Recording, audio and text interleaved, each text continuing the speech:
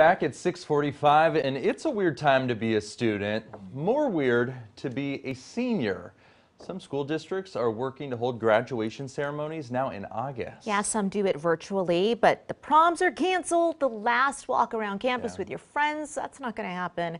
These are big milestones that are being overrun by coronavirus. And maybe you've seen this Facebook pages popping up to support seniors during this tough time. Chris Davis explores one for the Austin area.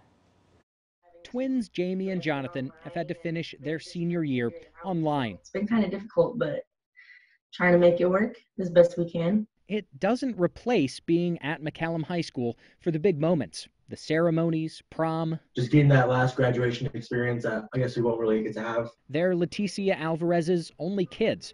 She's missing out too. dress shopping with my only daughter.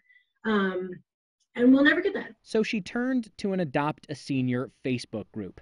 Parents post photos of their graduating students, and others adopt them, send them gifts and notes of support. You're missing out on these milestones, but let's make a different one. you know, everybody's with these seniors going through what they're going through. Adriana Almendarez Pulido started the Austin area group a week ago with her own senior in mind.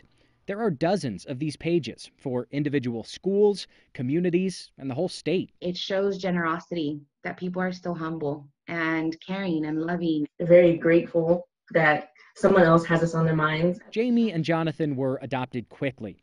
It's hard to replace all those milestones, but during this weird, uncertain time, this helps. I feel like we're getting the same recognition that we would get at graduation. And some of these groups that have been around for weeks have thousands or even tens of thousands of members. And if you want to adopt one of these seniors, we'll post the links on our website. Chris Davis, KXAN News. Well, Adriana says she first started the page because her daughter's request was denied in another group, and that was due to county boundaries.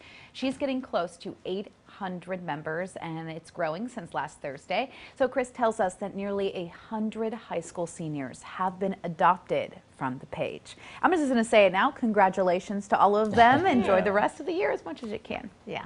I have a feeling a lot of these seniors, they're going to get recognition once we've made it to the other side yeah. of this. Oh, there's Like- going to be a big party. Yeah, oh, yeah. exactly.